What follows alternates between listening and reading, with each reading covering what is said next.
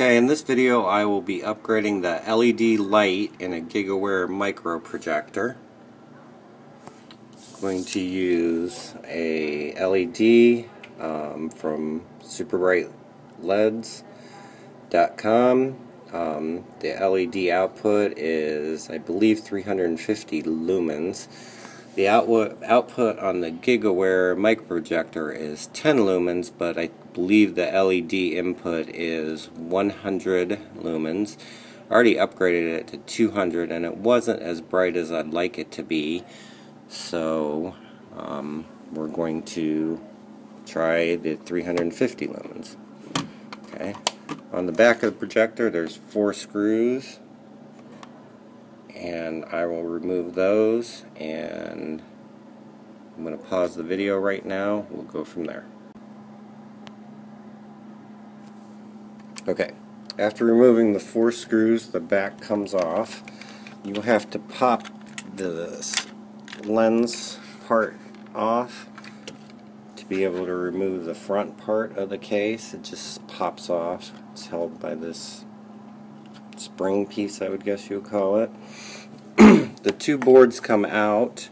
Um, the RGB connector and the um, RCA connector boards here and here just come right out. The front is does have a screw right here, Phillips said, that will need to be removed. And I'll go ahead and take the two boards out and remove the front and continue. Okay, we have the front off, the back, the lens cover, screws and screw covers the little rubber pieces.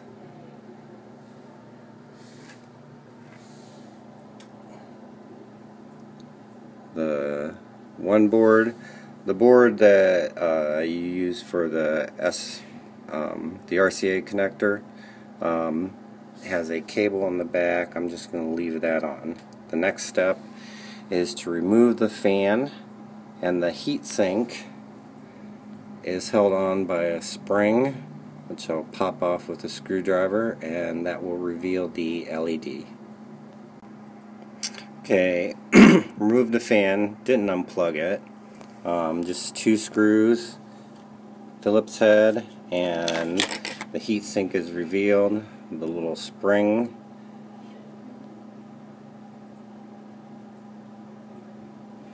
right there has to come off and it just pops off. It's a little bit difficult to get back on, but um, gotta manage. Okay, this is the 200 lumen LED that I put in. Um, not the greatest soldering job, but um, the projector did work and was a little brighter, not bright enough.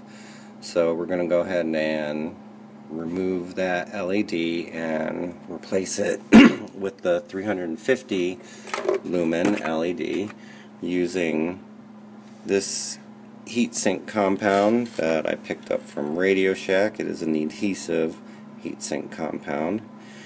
Um, the first time you remove the lead, it is a very sticky adhesive heatsink compound, almost the consistency of chewing gum but just worked it a little with a flathead screwdriver and it came right off. Okay, I removed the 200 lumen LED. The solder didn't want to release, so I actually just cut the wire um, and stripped it so I can solder to the new one. And you can see, I can focus, there's a plus minus on the LED and obviously red is soldered to the positive and black to the negative. Not the best job soldering but we're going to put it back together. Okay, I applied the heatsink compound and set the LED on the heatsink and um, you can still move it around as the um, red and black wire need to be routed when you um, attach the heatsink uh, with the spring. Now it's going to be a tighter fit as it's not a perfect um, same size as the original LED but if you can get the heatsink and spring on and get it aligned uh, the projector still shoots a great shot. Okay, I got the heatsink on. Now the spring is a really tight fit as you can see. And there's just a slight gap between the heatsink and the housing, which did not affect performance last time. But I'm going to go ahead and throw it back together and uh, we'll see how it works. Okay, here's the result.